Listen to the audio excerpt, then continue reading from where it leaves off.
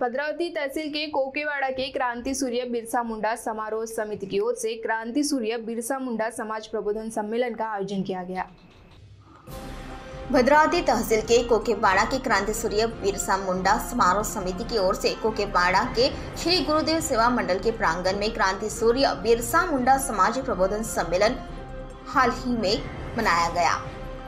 कार्यक्रम में उद्घाटक, पूर्व आदिवासी विकास मंत्री तथा राड़ेगांव मतदार संघ के विधायक डॉक्टर अशोक उइके इनके हाथों क्रांति सूर्य बिरसा मुंडा इनकी प्रतिमा को पुष्पहार अर्पण किया गया। इस समय कार्यक्रम के अध्यक्ष स्थान अखिल भारतीय इस समय कार्यक्रम के अध्यक्ष स्थान राष्ट्रीय कार्यकारिणी सदस्य जनार्दन पंत रहे थे।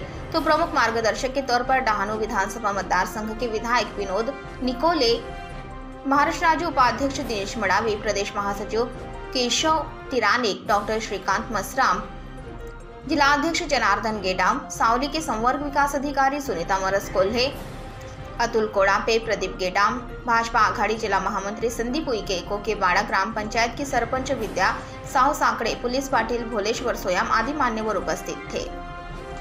कार्यक्रम की शुरुआत में गाँव से बड़ी ही धूमधाम से लेझिम पथक के साथ भव्य रैली निकाली गई। साथ ही ध्वजारोहण किया गया।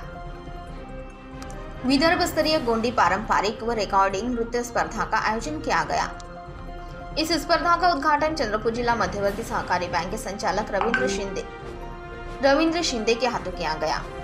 इसमें प्रमुख अतिथि सामाजिक कार्यकर्ता रमेश राजूरकर, सुधाकर रोहनकर, आदिवासी नेता रमेश मेश्राम, भाजपा आघाड़ी जिला महामंत्री संदीप उइके, ताडोबा वन परिक्षेत्र अधिकारी शेंडे, शेगांव के थानेदार मेश्राम, महाल गाँव के सरपंच मनीषा पुसना के कोकेवाड़ा तंटा मुक्त समिति अध्यक्ष गुणवंत चिकटे पुलिस पाटिल भोलेश्वर सोया मादी उपस्थित थे.